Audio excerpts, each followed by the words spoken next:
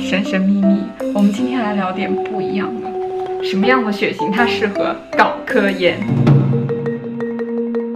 ？Hello，大家好，我是 Love Girls 之一，今天我想聊点不一样的。不知道大家生活中有没有一些怪里怪气的小习惯？比如说，我本科是厦大的，我们学院旁边就是南普陀寺。师兄们在开炉子之前，有的人他就会去南普陀寺先拜拜，再开炉子看样品。还有就是，比如说有的师兄他投稿挑自己的幸运数字的那一天投，或者是比如说周三晚上八点这样投这种的。所以我觉得小小的娱乐一下这些东西还是挺有趣的。首先我想说在前面的是，不同的血型的人他有不同的天赋和属性，而且后天的环境和教育也会对人的性格产生很大的关系。所以我以下说的内容仅供参考，好吗？让我们科学迷信，小迷怡情，大迷伤身。好了好了，我们进入正题。A B O 血型的分类在一九三零年拿到了诺贝尔医学和生理学奖。所以说人们孜孜不倦研究血型和性格这个问题，其实已经有近百年的时间了。所以它也是有一些研究究基础和样本的。第一个 A 型血，A 型血的人到底适不适合搞科研？我把国家分布说出来，你们肯定就知道了。A 型血最多的国家哪里？德国、瑞典、芬兰、丹麦、瑞士、挪威。每年的诺贝尔奖颁布在哪里？瑞典呐！你就说适不适合搞科研啊？简直完美适合哎！A 型血的人呢，他就是细心严谨、条理有序、未雨绸缪、负责任和有耐心。缺点呢，嗯，就是有那种一点点完美主义者。总的来说呢，它就是具有我们最近几年追求的那种工匠精神，所以就是很适合搞科研、工程师啊、科学家啊、制造业啊那种操作性的职业。举个例子，比如说我听说德国是世界上人均那种小型挖掘机和叉车数量拥有最多的国家。我在这边就经常去买菜，然后路过别人家的后院，哎，发现这家人正在开小型挖掘机，呃，这我就呃。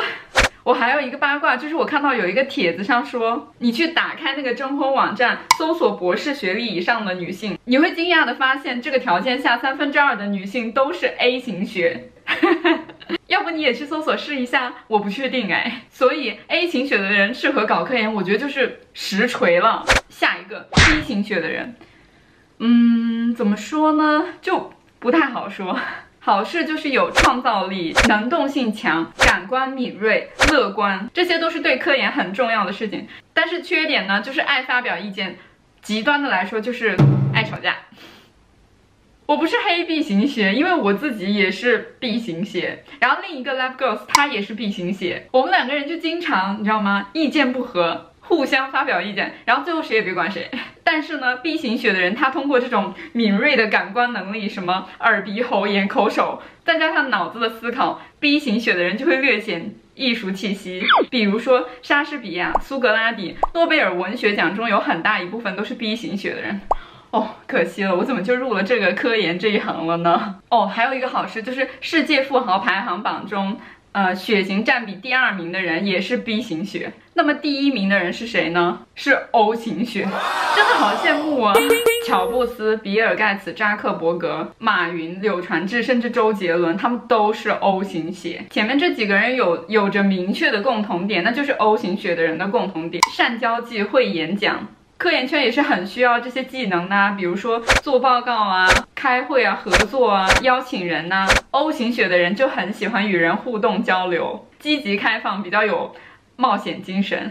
举个例子，就是比如说美国有将近一半的人都是 O 型血，是不是？就是有没有就是那种很热情的那种？我博士的老板就有一次跟我们说过，他每次去美国开会的时候，跟人家打招呼啊，或者是谈论到某个工作的时候，对方就会说。Amazing, fantastic 这种的，但是如果去欧洲开会的话，聊了同样的事情，欧洲人就会说，嗯，not bad。就有没有对比前面说过的，欧洲是 A 型血的人比较多，比较严谨细致那种的，就会觉得对上了，有没有？但是 O 型血的人除了会社交以外，也是很适合搞科研的。这个血型是诺贝尔奖得主最多的血型。最后一个就是 A 型，这个血型它被大家默认为是。